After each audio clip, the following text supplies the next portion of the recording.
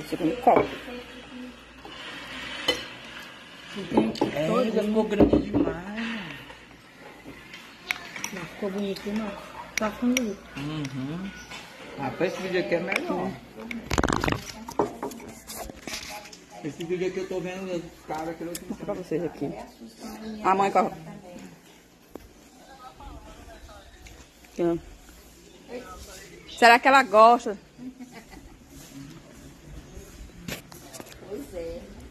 Gente, tem isso aqui pra mim. Um açaizinho.